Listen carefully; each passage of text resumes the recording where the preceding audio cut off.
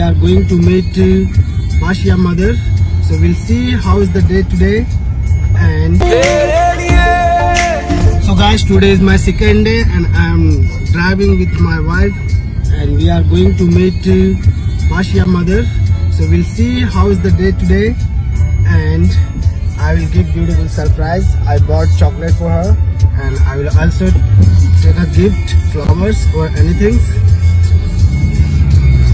चलो चलते हैं हम एंजॉय करते हैं। आज का मौसम बहुत ही सुहाना है और बारिश भी हो रही है। जैसे कि मैं आपको दिखाऊँगा, मैं अपने कैमरा पे आगे की ओर करता हूँ और दिखाता हूँ कि आज का मौसम कैसा है और